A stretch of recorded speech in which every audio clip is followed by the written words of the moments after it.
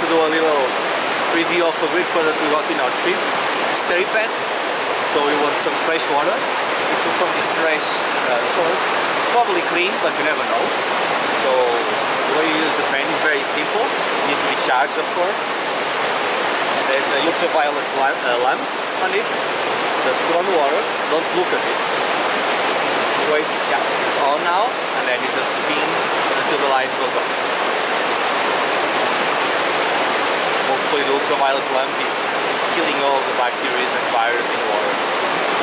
I'm sure there's none here, just need to play safe. Alright, I think it uh, will last for 60 seconds.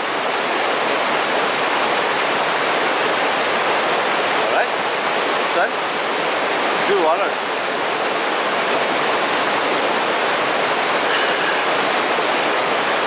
Very bad.